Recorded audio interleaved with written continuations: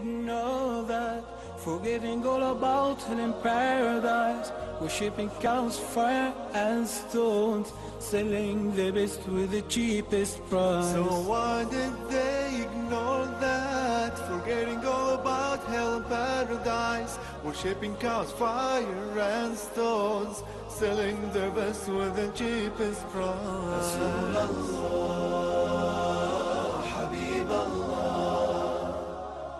رسول الله حبيب الله. رسول الله حبيب الله. رسول السلام عليكم ورحمة الله وبركاته. بسم الله الرحمن الرحيم. الحمد لله رب العالمين والعاقبة للمتقين ولا عدوان إلا على الظالمين. وصلى الله وسلم وبارك على سيد الأولين والآخرين نبينا محمد وعلى آله وصحبه أجمعين وبعد My dear viewers, welcome to another live edition of our program Gardens of the Pious. Today's episode is number 482 of the blessed series of Riyadh al-Salihin by Imam Nawawi. May Allah have mercy on him. And it will be the first in a new chapter, chapter number 220, باب ما يقال عند رؤية الهلال. So this chapter describes the supplication that the Prophet ﷺ used to recite upon seeing the crescent of the new month, the birth of the new moon, the supplication at the sight of the new moon at the outest of every lunar month. The hadith is collected by Imam al-Tirmidhi and it is narrated by Talha ibn Ubaidillah radiyallahu anhuma. Hadith number 1228. And it's only one hadith in the chapter. Before I quote the hadith and before we learn its meaning, it's really important to understand that Rasulullah was a grateful servant to his Lord and he taught his companions and his ummah. So offering the prayers or fasting or doing voluntary acts of worship while knowing that he will be not only in paradise but rather no one will enter paradise before him the first person to set his foot in heaven would be Prophet Muhammad sallallahu alaihi wasallam. Yet he was very active in worship, and when he was asked, he said, "Afala akunu abadan shakura? Shall I not be a grateful servant to give thanks and gratitude to Allah subhanahu wa taala for His countless blessings?" So, living to witness the birth of a new lunar month, living an extra day gives you a chance to earn more reward, to draw nearer towards Allah, to increase the balance of your good deeds, to increase the level of your iman. So this is a blessing, especially if it is a blessed month that you are about to witness, the month of Ramadan for innocence. So it is something worth giving thanks. So the Prophet ﷺ taught us to supplicate at the birth of the new moon, as in the following hadith, which is narrated by Talha ibn Ubaidillah radiyallahu anhu. أن النبي صلى الله عليه وسلم كان إذا رأى الهلال قال: اللهم أهله علينا بالأمن والإيمان والسلامة والإسلام ربي وربك الله هلال رشد وخير Hilalu rushdin wa khayr. What did he used to say and what it means? Whenever the new moon of the lunar month is sighted, the Prophet ﷺ used to recite the following supplication. He would say, O Allah, let this moon appear on us with security and Iman, with safety and Islam. Then he would address the crescent, saying, O moon, your God and my God is Allah. May this moon be bringing guidance and good. Rushdin wa.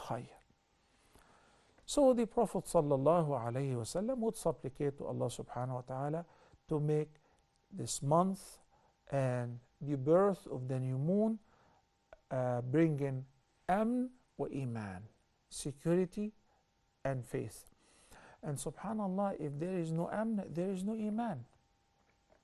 And if there is no iman, there is no amana, there is no amn. There is a very strong bond between security and faith, and between faith and security.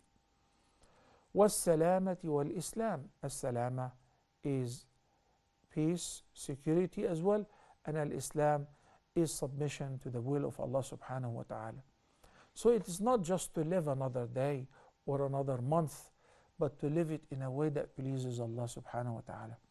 In order to observe our religious duties freely with comfort and enjoy it, we don't have to worship in a bunker or underground. There must be amn.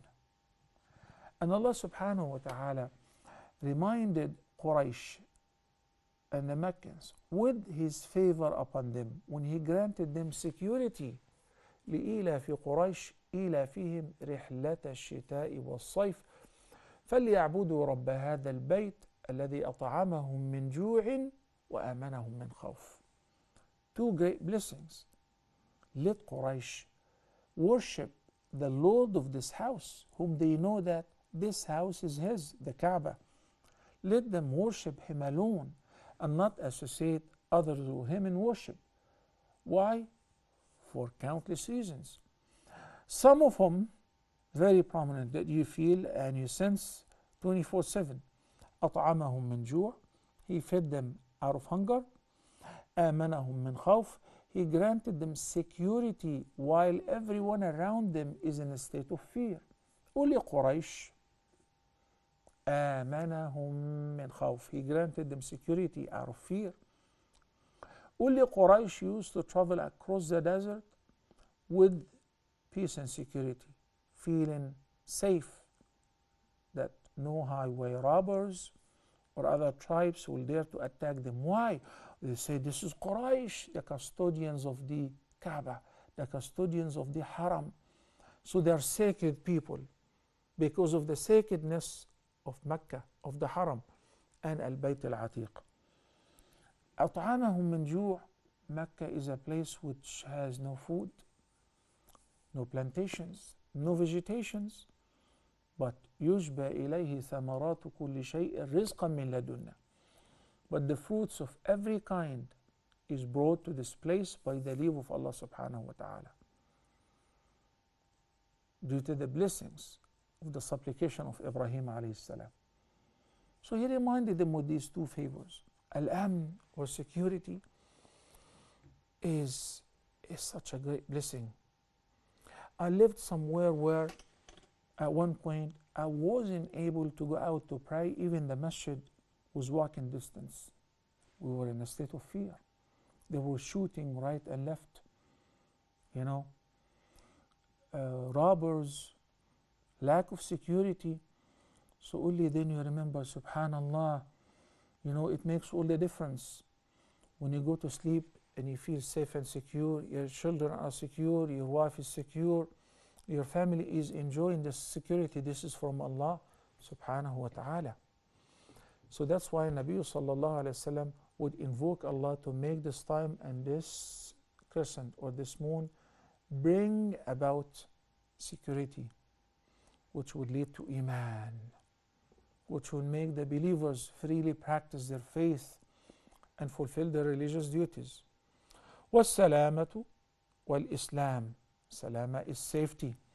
Safety from ailments, from diseases, safety from anything that threatens or harms our bodies, our souls. Then he would ask Allah subhanahu wa ta'ala through addressing the moon, saying, Rabbi wa Rabbuk Allah, O moon, your Lord and my Lord is Allah. O Allah, make this crescent hilal rushdin wa khair. May this moon be bringing guidance and good. That's a beautiful supplication, which also indicates that going out to sight the moon at its birth is perceived as an act of worship. When Rasulullah sallallahu alaihi wasallam said in the other hadith, "Sumu li ru'yatih wa afturu li ru'yatih," as as we were young, young kids, we used to go out to the plain.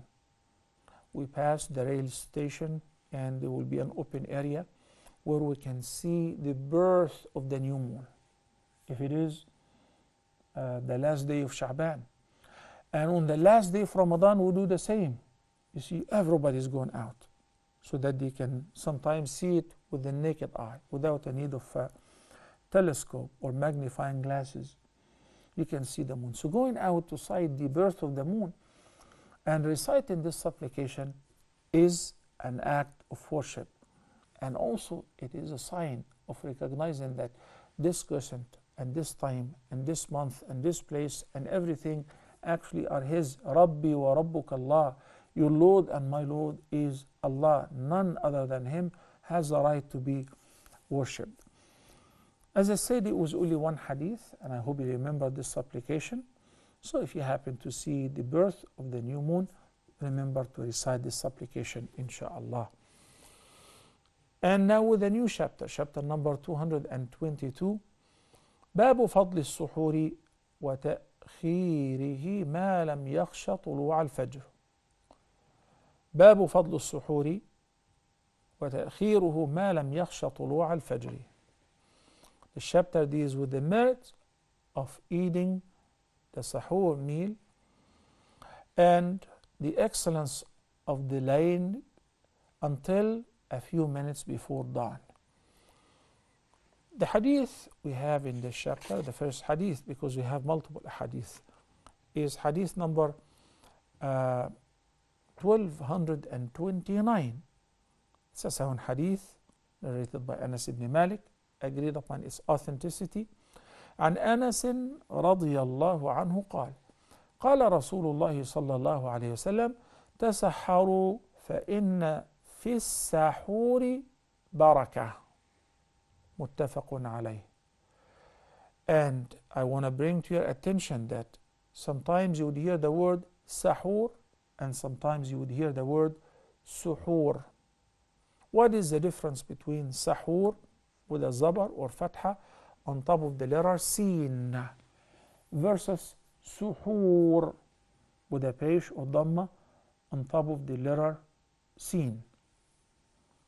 As-sahur is taken from the time of eating this meal. But the word sahur refers to the meal, whether it's food or drink, even if it is just water, which you consume it before Fajr with the intention of eating this meal in order to begin fasting upon seeing the, the dawn or the Fajr. We will be studying some hadith how the Prophet ﷺ said, uh, Eat the sahur meal, there is plenty of blessings in it. If you can find then some dates, otherwise, a sip of water will do it because the water is tahur. Okay? So when we say the sahur, I cannot just say a meal or it is the name of a food. It is the name of the food or the drink which a person consumes at the last part of the night, right before dawn, with the intention of fasting next morning in a few minutes, half hour or an hour or so. While as-suhur with pesh or dhamma on the letter sin, it is the same spelling though. Sahur, sin, ha, waw, ra. Suhur, sin, ha, waw, ra. But suhur refers, refers to the process of eating or the process of drinking. The sahur meal. So suhur, like we spoke about wudu and wadu. Wadu is the water which we use for ablution. Same spelling of wudu but with dhamma or pesh on the first letter, which is a waw. Wudu is the actual process of ablution. See, the vowel changes the meaning. Same word could be noun, could be subject, could be verb. Subhanallah. So, as-suhoor is the process of consuming the meal of sahur before Fajr in order to begin fasting with dawn. So Anas رضي الله عنه قال قال رسول الله صلى الله عليه وسلم تسحروا فإن في السحور بركة which means O servants of Allah eat the sahur meal indeed in eating sahur there is a lot of blessings so when he says barakah anonymous plenty of blessings lot of goodness how much yeah i'll let you imagine i'll let you think but it is a lot of blessings. What could be there of barakah or uh, blessings in the sahur meal? Number one and before thinking about the nature of the food that you'll be eating or the medication you will be administering fulfilling the sunnah of the prophet wasallam of eating the sahur meal at the time of sahur and again, sometimes you feel not hungry. The Prophet ﷺ said, Please eat something. It will help you throughout the fasting during the day. Uh, drink some water because I know that once you get up for Fajr, many of us, especially our kids, Ramadan while fasting, you try to wake them up because now Ramadan is coming during this scholastic year. So they have been studying and have been awake, and now they come to sleep a couple hours before Fajr and after Taraweeh. You wake them up for, say, I don't want to eat. Daddy, leave me alone. I don't want to eat. I'm okay. Trust me, I'm not hungry. Sometimes you wake them up and they're too sleepy, so they don't want to eat, they don't want to drink. But when they get up for Fajr to pray, once they finish the prayer, you hear them all saying, Oh, I'm hungry. I'm thirsty. I have a dry mouth. That's why this sahur meal will satisfy you and will help you at least until noon so that you would not begin suffering or sensing the hunger or thirst soon after Fajr. It will, you know, satisfy you for a few hours. So it will make fasting affordable and likable for you versus somebody who ate the iftar meal, broke his fast at Maghrib, and he didn't eat anything. So that means he's going to be fasting for 24 hours not for 13 or 16 or 17 hours, 24 hours.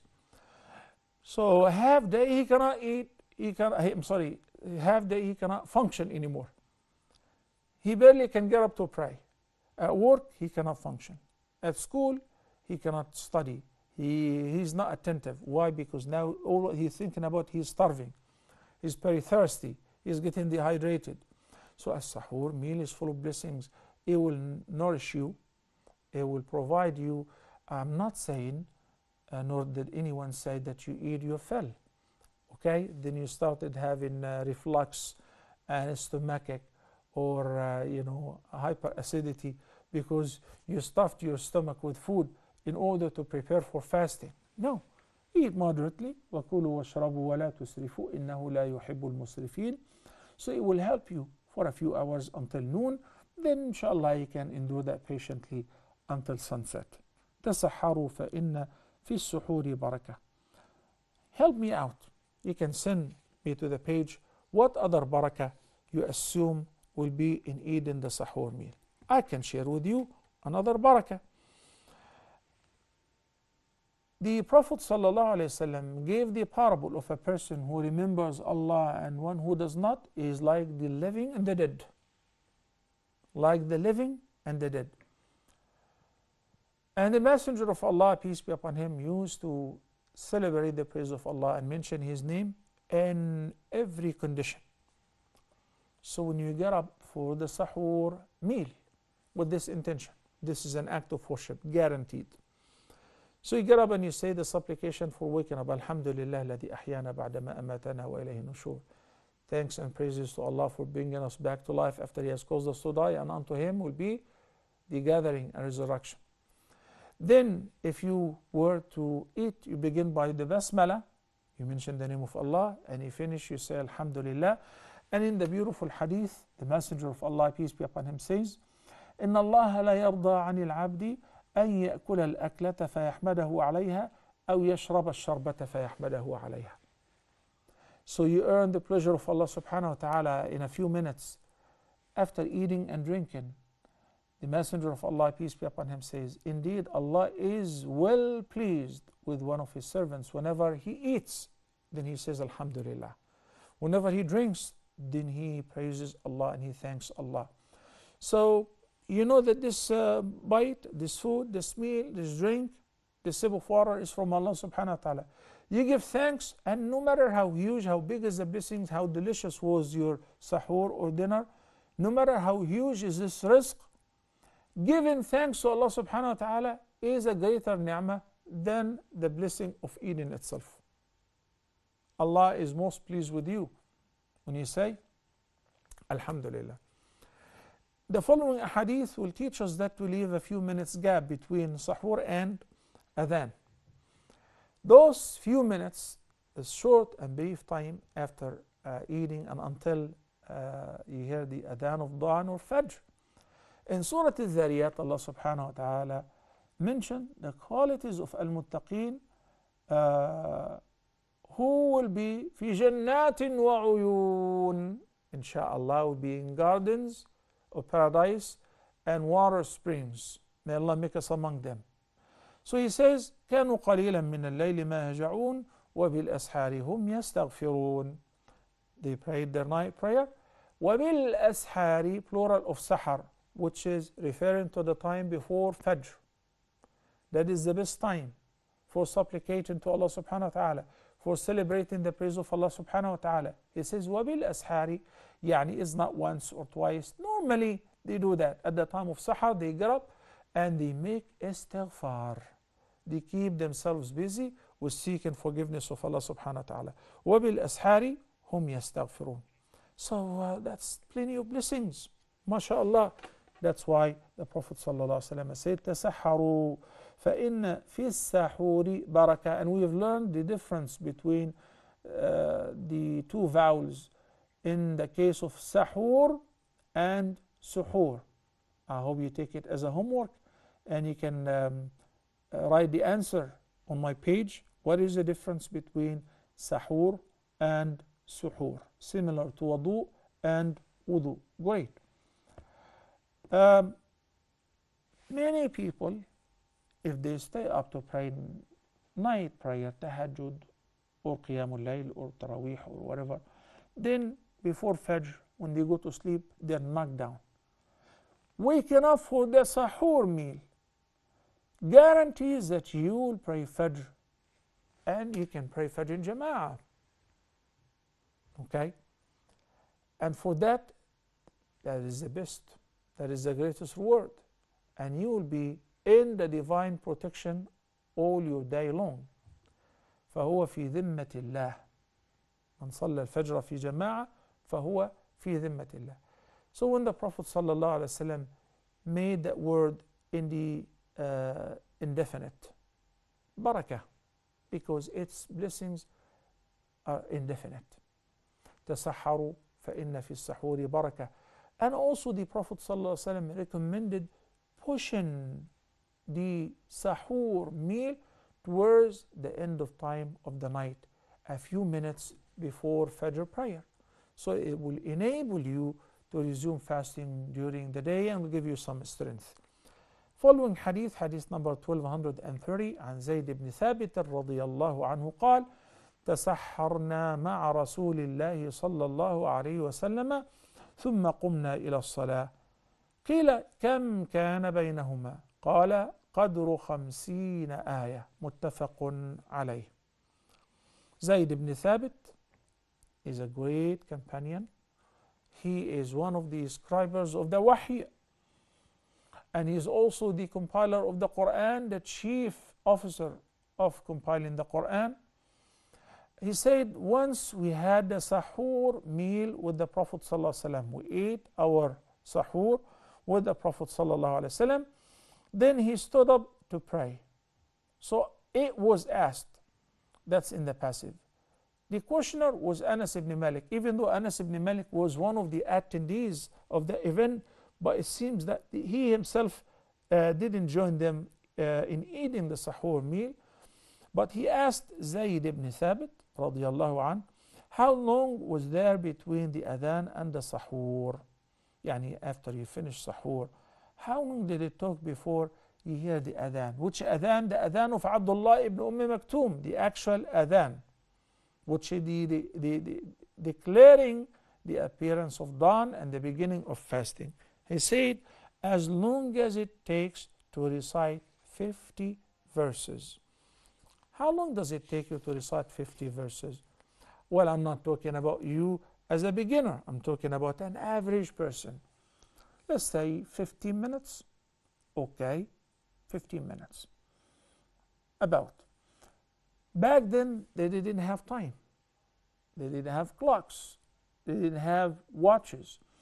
And that's why they used to estimate the time span comparing to a bodily act or a bodily activities, such as yani, when the Prophet ﷺ spent time after burying one of the companions and he said, استغفروا لأخيكم فإنه الآن يسأل Hang on, hang around, do not leave yet. Hang around and make istighfar, seek forgiveness for your brother who is just been buried because he's being questioned right now. So how long did he stay? We want to know. So we will practice the same sunnah when somebody dies and we'll hang around him uh, or her, spend some time to make a istighfar. How long would this process take? Well, the companions didn't have watches to tell us that uh, he stayed for 30 minutes, 45 minutes, uh, an hour, an hour and a half. We don't know. But they said the time span which takes to slaughter and distribute or process the meat of a goat. So half hour, 20 minutes, perhaps around that. So they used to estimate the time based on uh, the activities that they do on regular basis. Which means that the Prophet ﷺ used to push the sahur meal all the way close to the end of the night time a few minutes before Fajr. And the purpose of that, so it would match the sahur time and the food would uh, you know, stay in your stomach for a longer period of time to assist you to work, to function, to study, to do whatever, or to fulfill your duties during the day. Not to feel weak from the beginning of the day. Why? Because you ate at uh, you ate dinner, you ate at Isha, or before midnight. So all this time you've digested the food already and now you start, uh, you know, your stomach is calling for some food. So postponing the sahur meal is the sunnah. Um, there are some more hadith in the chapter, inshallah, but we'll take a short break. Inshallah, I'll be back in a couple of minutes to tackle the rest of the hadith in the chapter, chapter uh, number 221, and inshallah, begin a new one as well. Please stay tuned.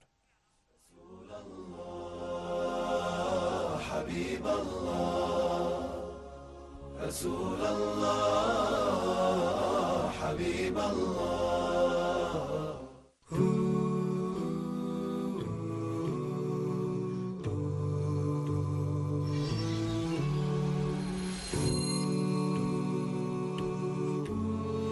Allah subhanahu wa ta'ala revealed the Quran in seven different ways of recitation. Similarly, Maryam alayhi salam, she's a woman by herself she doesn't even have a husband who's ever touched her, and Allah subhanahu wa ta'ala granted a child to Maryam alayhi salam. Look at that. She said that how will I have a child? وَلَمْ يَمْسَسْنِي بَشَرٌ How will I have a child whilst I've never even been touched by a man? One of the unique things about this story is that it's not like Umar al-Khattab hasn't heard these verses. Can you imagine that Umar al-Khattab hasn't heard these verses? He became sick from the effect that this ayah ended up having on his, on his mind at that moment.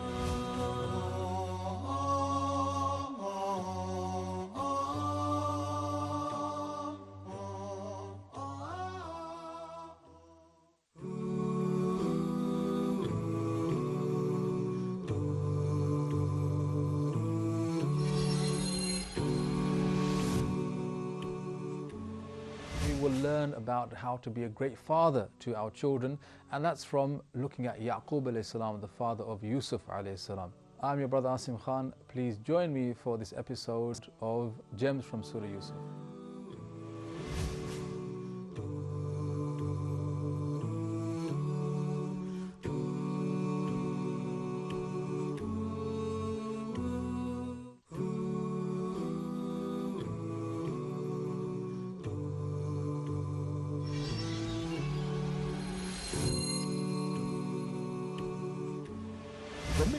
Of Prophet Muhammad sallallahu alaihi wasallam is La ilaha illallah, is to carry the meaning of the word La ilaha illallah to everyone, to all the people who are around him, Right. as many people as he can. So this is the mission. Mission is needed by everybody. Tell me about a person in this world who does not need mercy. Hmm. Mercy is a key way Of or a key word for healing the hearts of human beings. What happens is they get so many rejections, but they feel so bad about themselves. They don't know that what's been rejected now is your current skills, your current experience, which by time and effort can develop. you are looking for another job, but temporarily you are going to, you are doing this job, so perfect it. And this is part of our great religion is Hmm. perfection. And Hmm. perhaps there is another chapter about this. Right. Perfect your work. Give Mhm. the right to the job that you have. Because, for example, on, on another note, if you are not positive, you cannot motivate. If you are not positive, you cannot recognize, you cannot even look for the good things.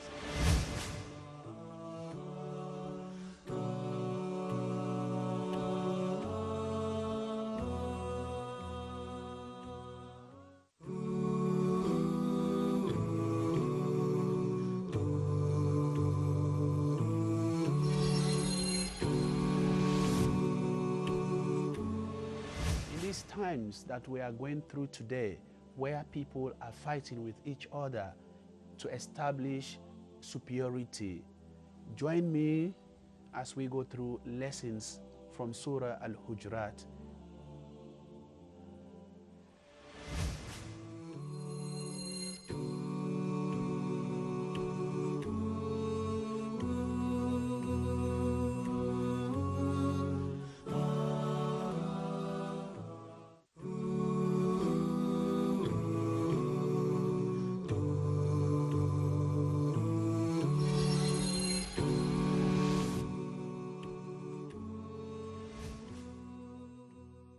الله لهم جنات ومغفرة وأجرا عظيما. Brothers and sisters, Allah has prepared for us gardens and beautiful things in the hereafter for those who do certain deeds.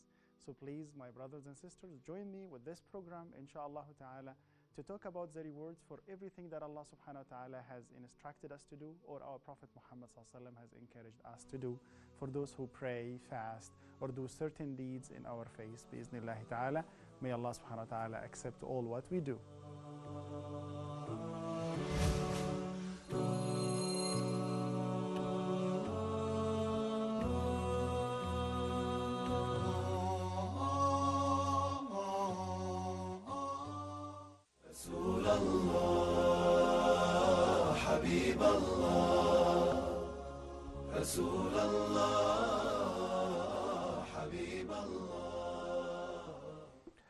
Assalamu alaikum wa rahmatullahi wa barakatuh and welcome back. Our phone numbers beginning with area code are 002 then 0238555132.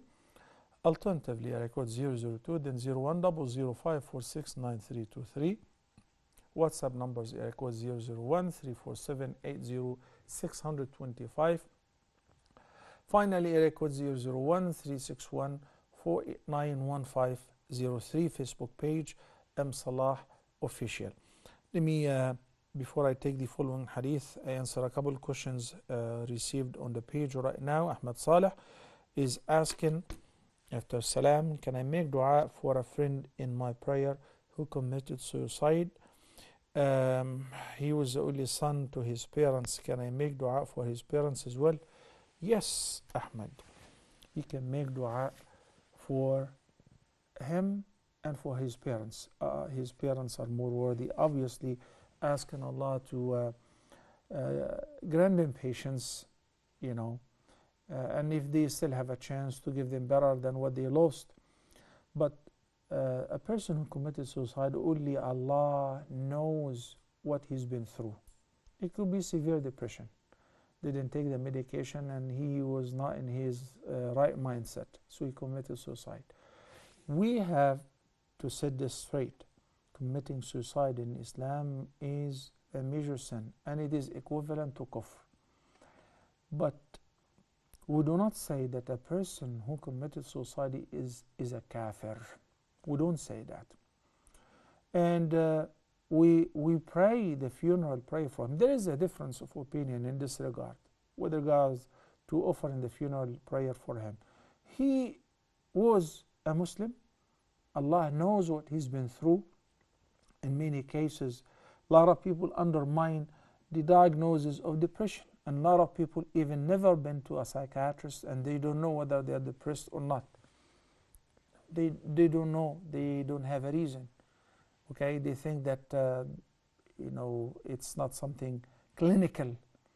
They think the, the person is been possessed by the jinn or whatever, and some people end up committing suicide. So we have to pay attention to those who are around us, family members, loved ones, friends, in case that they're going through depression, because depression kills. Okay, may Allah uh, save us all against that. So if you know somebody who's been through that and he committed suicide, make dua for them. They are more worthy than others because if they were in their mindset and they committed suicide, this is a terrible sin. In, in the sound hadith, a person who stabbed himself, uh, it says that he will abide eternally in hellfire and he will keep stabbing himself over and over and over. And then he dies and he comes back to life and he will keep uh, being punished with the same tool that he took his life with, whether he was thrown himself off a high place, uh, jumping off a building, or uh, you know uh, consuming uh, a poison or whatever. May Allah protect us all and guide us what is best. Second question, can you tell me about Salatul Awabin, the six, ra- six rak'ahs prayed between Maghrib and Isha? Uh, the term Salatul Awabin was mentioned in a sound hadith and it was mentioned in a very weak hadith. So the sound hadith refers to as the Prophet ﷺ defined it. He said Salatul Awabin hina tarmadul fisal. So this is referring to the duha prayer, the four noon prayer. And the best time to offer it uh, close to noon, like an hour before dhuhr okay, an hour before Dhuhr prayer. While the other weak hadith, it refers to a narration which is collected by Ibn Majah, in which it claims that the Prophet ﷺ said, Whoever prays after Maghrib and until Isha, six rak'ahs, two by two, and he doesn't talk in between, that will be equivalent to a ibadah or a worship that is over, uh, offered in a period of 12 years. As I said, this is a very, very weak hadith. But there are some other narrations which quoted the Prophet ﷺ as praying uh, night prayer, voluntary prayer between Maghrib and Isha. So it is prescribed to pray nawafil between Maghrib and Isha, beside the Sunnah, the emphatic Sunnah for Maghrib. But the right uh, name of Al Awabin is referring to the Duha prayer. I know that some of the fuqaha used to refer to uh, prayer between Maghrib and Isha, especially in the Hanafi madhab, uh, as Awabin prayer. But that is mentioned in a very, very weak hadith. And now, with the second hadith in, the, in this chapter, chapter number 221, hadith number 1231. عن ابن عمر رضي الله عنهما قال كان لرسول الله صلى الله عليه وسلم مؤذنان بلال وابن أم مكتوم. فقال رسول الله صلى الله عليه وسلم إن بلالا يؤذن بليل فكلوا واشربوا حتى يؤذن ابن أم مكتوم.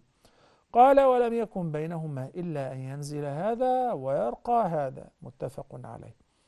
Abdullah ibn Umar ibn al-Khattab, may Allah be pleased with him and his father, narrated that the Prophet ﷺ used to have two muazzin, and muazzin is a person who calls azan to declare that the prayer time has uh, entered, so that people would come to attend the prayer in the masjid, and women would pray at home, or whoever wants to pray, that would declare it's already time to pray. So the two muazzins at the time of the Prophet ﷺ were Bilal ibn Rabah and uh, Abdullah, the son of Umm Maktoum. May Allah be pleased with them.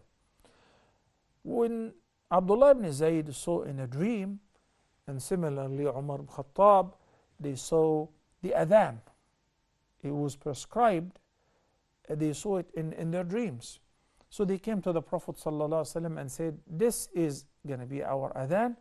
And he said, Teach it to Bilal فإنه أندى منك صوتا that tells us on what basis the Prophet ﷺ chose Bilal ibn Rabah to be the muazzin and Abdullah ibn Umm Maktoum to be the muazzin أندى صوتا يعني he has a better voice his sound is very melodious. It's, it's beautiful to hear. A nice adhan. I have non-Muslims who visit uh, Cairo and they visit my office and when they hear the adhan they say lovely i love it. Because we have beautiful uh, sounds mashallah. You know? I've met a professional engineer once. She says that i love to come to cairo exclusively because i love to hear the adhan. She's not muslim from italy so here in the adhan is da'wah as well and it is a declaration of faith in order for a person to call adhan, he has to have a melodious voice. Okay? Bilal ibn Rabah used to call the first adhan. Al Fajr has two adhans, whether in Ramadan or in any time during the year. And the time difference between them, you know, about 15 minutes. Do you remember when, um, when we, we studied the hadith, the time between eating the sahur meal and the adhan, which also indicates that what some people nowadays do, especially in some parts of the world, they have in the, uh, in, in, the timetable for the prayers throughout the year five prayers, you know, uh, from Fajr till Isha. Then in Ramadan, they add an extra time. What is this extra time? Imsak time. So they have Fajr at 6 a.m. Imsak 5:45 or 5:30. Then the rest of the prayer times as usual. What is imsak? They say because you have to stop eating at this time. That is not true. This is pure innovation. Imsak, it's okay to use it as a reference. Be careful, you only have uh, 15 minutes till the actual time. You only have 30 minutes for Adhan al Fajr. But to say imsak, yani tumsik, to hold, to stop eating and drinking, and to begin fasting, that is not true. Because it opposes what Allah the Almighty said in Surah Al-Baqarah, وَكُلُوا وَاشْرَبُوا حَتَّى until حتى till يتبين لكم الخيط الأبيض من الخيط الأسود من الفجر so you can eat and drink until you hear the actual adhan or if you have time and it says adhan al-fajr uh, according to the timetable 6 a.m. So 6 a.m. exactly stop eating and drinking. If you see it 6:01 and you still eat, then you broke your fast. And those who eat and drink while hearing the actual adhan, they have violated their fasting. And they should make up the day. Because the word hatta solves out any dispute in this regard. You don't say, but the hadith says if you hear the adhan while eating, drinking, finish your meal first. This is the first adhan, the adhan of Bilal. This hadith says, فقال رسول الله صلى الله عليه وسلم إن بلالا يؤذن بليل فكلوا واشربوا حتى يؤذن ابن أم مكتوم and this is a sound hadith agreed upon its authenticity he says you guys do not be deceived or tricked by the adhan of Bilal. When he calls adhan, it's still night. It's not dawn yet. There's still a few minutes, uh, 10, 15 minutes. One of them finishes, Bilal finishes adhan, then he descends because they used to climb on top of the masjid so that when they call adhan, everybody would hear them. So Bilal would descend, and Abdullah ibn Ubay, Abdullah ibn Umm Maktoum, was a blind companion. Somebody would lead him upstairs, go him, uh, take him to the top of the masjid, then he would say, Azan, Azan, it's time. So he would start calling Adhan. The person would say Azan, it's based on his, you know, uh, visualizing the dawn. الحبل الأبيض الخيط الأبيض من الخيط الأسود من الفجر You see the criterion between the day and the night, that's called dawn. Nowadays, all of us have Islamic Finders or whatever app that tells us the prayer time. So if you know that it's accurate and Fajr is at 6 a.m., then 6.01 do not eat. You have all night long from, from Maghrib until 6 a.m. Eat and drink. Why do you keep pushing yourself to the edge and jeopardizing the validity of your fasting? Those whom I see in the masjid or in the haram, they hear the actual adhan in which the second adhan or the actual adhan in which you hear as-salatu khayrun min al-nawm. And they're still eating and drinking. They gotta make up that day. They violated their fasting. So Abdullah ibn Umar, who narrated this hadith, said that the Prophet ﷺ used to have two muazzins, Bilal and uh, Abdullah ibn Umm Maktoum. You know who's Abdullah ibn Umm Maktoum?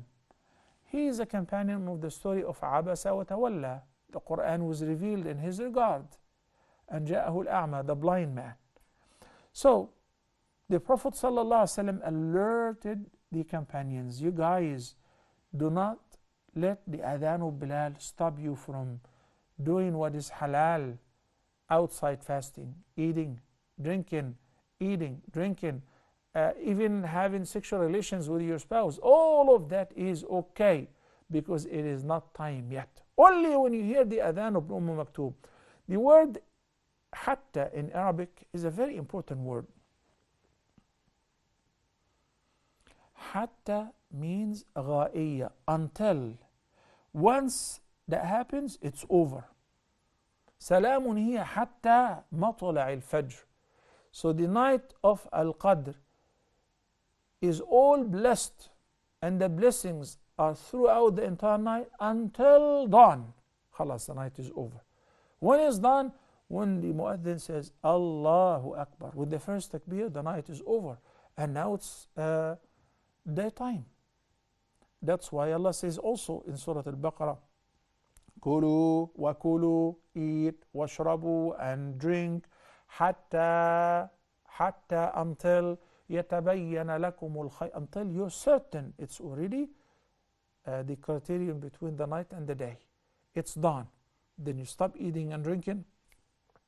And he did not mention the sexual relations because it's understood. If you can eat and drink, then you can enjoy also having an intimate relationship. and once you start withholding from all of those activities فكلوا واشربوا حتى يؤذن ابن أم مكتوم قال عبد الله بن عمر said and the time span between them was not more than this that one climbed down from the minaret and the other climbed up to announce the adhan يعني a few minutes so what we see in the timetables nowadays imsak time half hour or so before Fajr or 15 minutes before Fajr and people assume this is imsak yani withholding. This is the beginning of fasting. That is not true nor is it valid. And we have to give people ease. The prophet ﷺ said in the hadith my ummah would remain in good shape islamically from islamic point of view so long as they hasten to break the fast and so long as they postpone and delay the sahur meal a few minutes before Fajr. May Allah subhanahu wa ta'ala guide all of us to what is best. By that we've come to the end of today's edition of Gardens of the Pious. Until next episode, Assalamu alaikum wa rahmatullahi wa barakatuh. The one and only glory to Him. He wanted humans to be the best and give His best religion to them. Allah, our God, is the greatest, the one and only glory to Him. He wanted humans to be the best and give His best religion to them. So why did they ignore that? Forgetting all about it in paradise. Worshipping cows, fire and stones Selling the best with the cheapest price. So why did they ignore that? Forgetting all about hell and paradise. Worshipping cows, fire and stones Selling their best with the cheapest price